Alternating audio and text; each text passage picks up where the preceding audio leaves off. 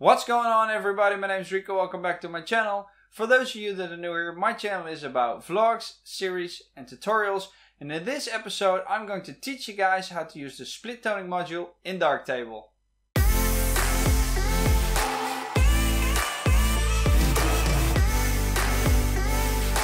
And this is the image we're going to work with for this tutorial. We've got a lovely female over here with her two horses. For this tutorial we need the split toning module. I've got it in my favorites. If you don't see that, please go to more modules and then find it in the list down below. So let me open up the split toning module and there are a couple of things that you see. The top part is for the shadows and you see the hue slider and the saturation slider alongside a color. Then you see the highlights which is the middle section with a hue slider and a saturation slider and then you see a balance and compress. I'm going to explain to you guys what this means in a minute. And for this image I'm going for an orange and teal look. So let me show you guys how that works. Basically what we need to do is we need to apply the teal in the shadows and we need to apply the orange in the highlights, so her face. And for that I'm going to move the slider into the blues because this is for the shadows. This is one way of doing it. If you don't really like this and you want it to be more precise, you can scroll the little mouse wheel button away from you or towards you. If you scroll it towards you, the number decreases. If you scroll it away from you, the number increases.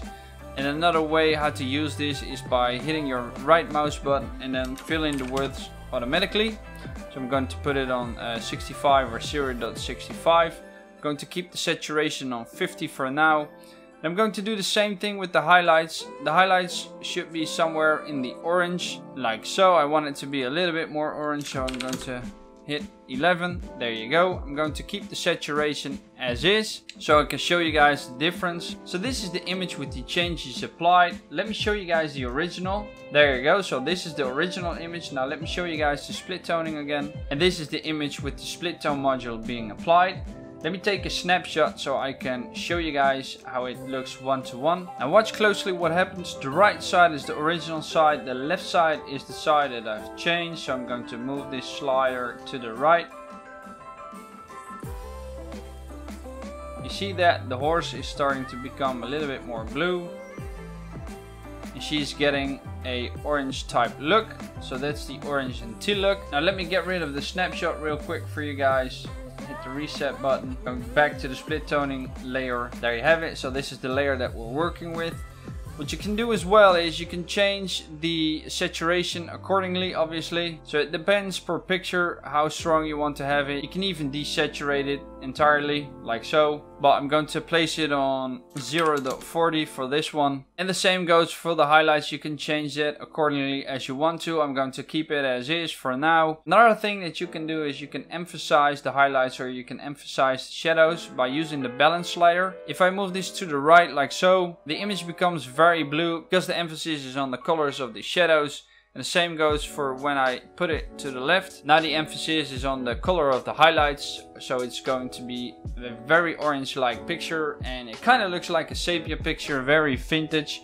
If this is the type of look you're going for, you can use it, but I'm going to put it in the middle, so I'm going to place it back to 50 to bring it back to the starting point. Now I'm slowly going to move it to the left, like so, to make subtle changes. The compress is meant to show you guys, if you put it on 100%, that means that nothing of the above will be applied to the image. So this is the original image.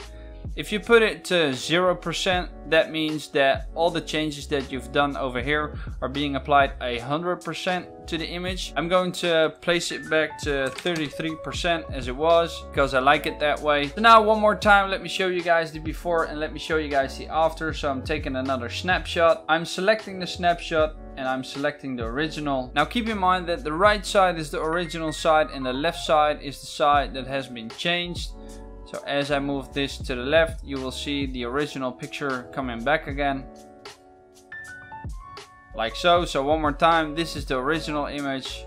And now let's move it all the way to the right this is the image after I'm done with it. The last thing I want to show you guys is let me deselect the snapshot real quick for a minute. Let me go back to the layer that we were working with. The last thing I want to show you guys after you've done this and you're like, hey, I really like how this looks. I want to keep it as a preset. I don't want to redo it every time. That's easy. You go to this little symbol right here, you click it and you hit store new preset You can give it a name, uh, say if it needs to auto apply this preset to matching images or only show this preset for matching images. I'm going to hit cancel because I've already done that.